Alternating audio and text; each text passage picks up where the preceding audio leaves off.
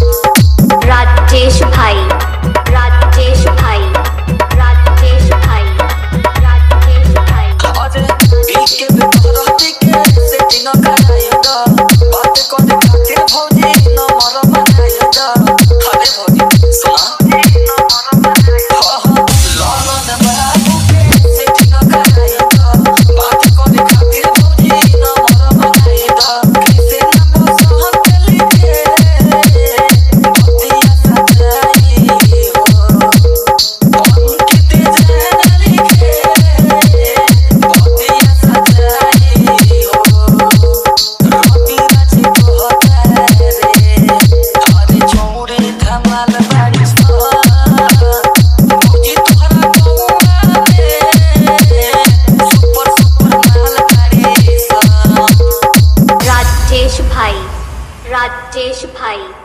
राजेश भाई राजेश भाई राजेश भाई राजेश भाई राजेश भाई राजेश भाई राजेश भाई